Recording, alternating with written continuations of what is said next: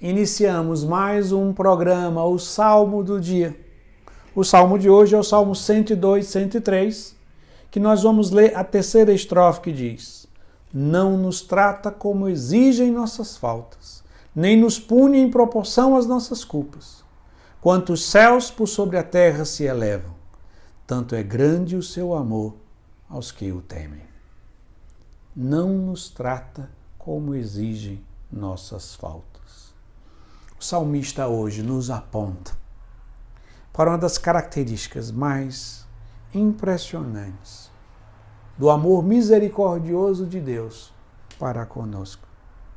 Porque Ele não nos trata como exigem nossas faltas.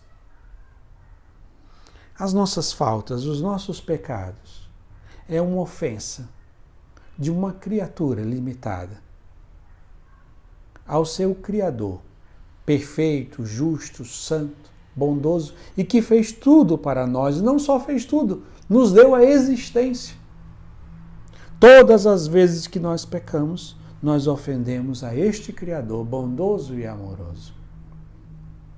Mas essa compreensão da bondade de Deus, da misericórdia de Deus, que não nos pune conforme nossas faltas, ou como diz ainda o salmista, né, nem nos pune em proporção de nossas culpas chega a sua maior compreensão ou a sua plena compreensão com a vinda de nosso Senhor Jesus Cristo. Jesus Cristo morreu numa cruz. Na verdade, ele foi condenado, foi humilhado, chicoteado, preso e morre numa cruz, assumindo sobre si as nossas culpas, as nossas condenações. Como diz o profeta Isaías, ele carregava sobre si as nossas dores, as nossas culpas, as nossas punições. Desta forma, com o sacrifício de Jesus na cruz, compreendemos por que Deus não nos pune conforme as nossas culpas, porque Ele assumiu sobre si as nossas culpas.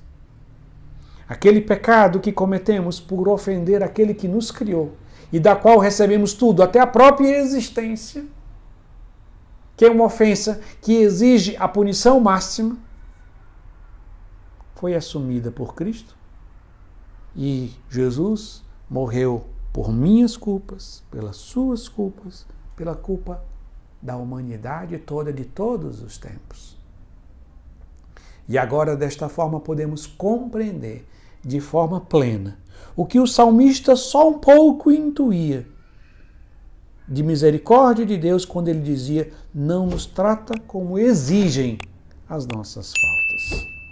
Assim, concluímos rezando mais uma vez a terceira estrofe do Salmo 102, 103, que diz: Não nos trata como exigem nossas faltas, nem nos pune em proporção às nossas culpas. Quanto os céus por sobre a terra se elevam, tanto é grande o seu amor aos que o temem. Amém.